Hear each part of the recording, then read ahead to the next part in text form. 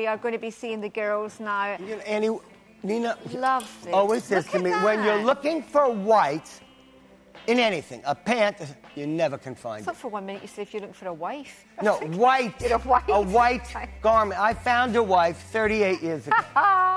Look how great Sally looks. So I mean, That it's just it's dressed up as well. gorgeous. It's a very much a dressed up look that we're seeing. And see, the cami does jewelry. Give you that coverage underneath, but yet you have the shoulder and the arm. It You is know- sexy, but chic. You know, the, these, this is going to look great with the, you know, the pull-on trousers that I've got on as well. That so many of the ladies. Anything you may have at home, but it does work with any of the Nina Leonard, especially the matte jersey trouser that you Yeah. might have bought to go with today's special value.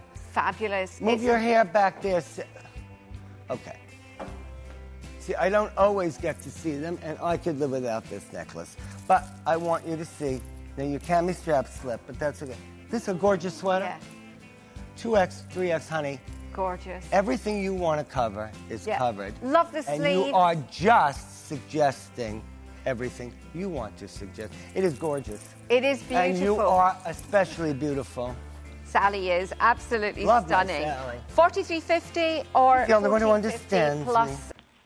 I felt wonderful. I had it with a little shrug just so that because it was sleeveless and like most ladies, I'm not happy about my arms. Right. But um, it was a little black dress with the um, a V-neck and the um, like a band underneath the bust. Um, it was the second dress I bought from you. Oh, God and, bless you. um, I've really, you know, I've got about six now, six or seven.